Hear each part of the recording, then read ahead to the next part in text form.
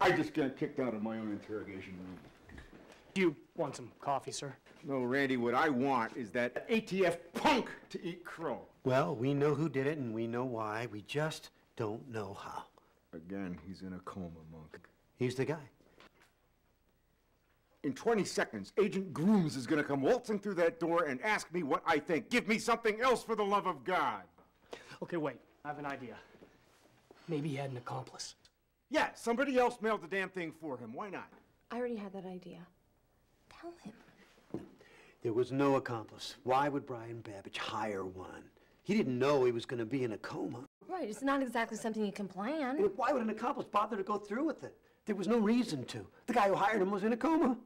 Okay, wait, so Brian made the bomb, and then Brian mailed the bomb by himself That's right. while he was in a coma. You got to admit, it's a pretty good alibi.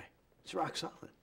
Monk, I have known 15,000 criminals in my lifetime. Here's what they all have in common they're conscious! Nonetheless. When does your shrink get back? Captain.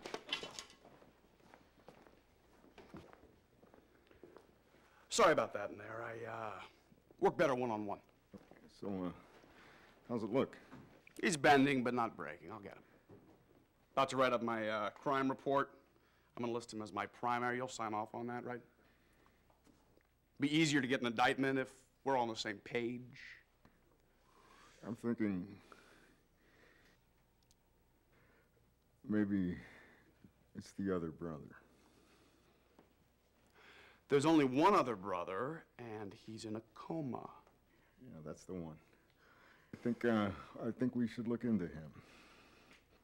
He's a vegetable, Captain. I know, So don't you think that eliminates him as a suspect? I don't know. Yeah, I'm just curious. How do you think he did it? We're still working on that. Yeah. Well, good luck with that, Captain. Uh, keep me informed.